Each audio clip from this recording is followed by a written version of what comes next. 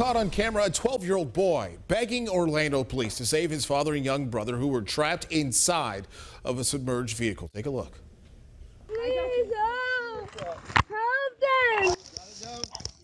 Yeah, heartbreaking there. Records show a 44 year old man was driving a red Nissan Sentra with his 12 year old and 4 year old sons also inside. An animal ran out into the roadway, causing that man to lose control.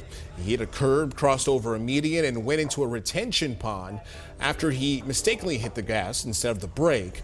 A Good Samaritan called 911 and held the young boy's head above water until help arrived. Everyone involved is expected to be okay. Some good news there.